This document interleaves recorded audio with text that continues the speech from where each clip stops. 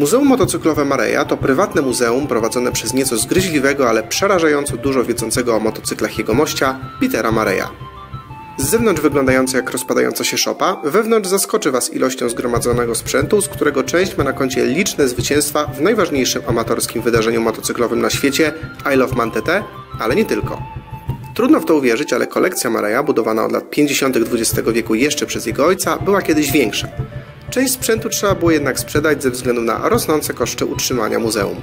Mimo to zdecydowanie warto tu wpaść i posłuchać motocyklowych opowieści gospodarza, przekonanego, że szczęście przynosi mu zlokalizowany w pobliżu most wróżek.